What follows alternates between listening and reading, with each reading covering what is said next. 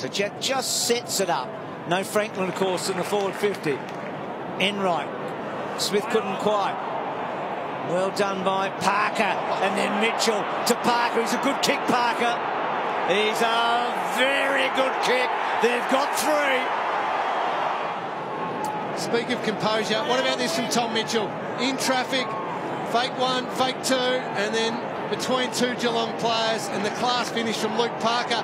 The Swans, they just look like they've got so much more time with ball in hand. Geelong look completely rushed at the moment.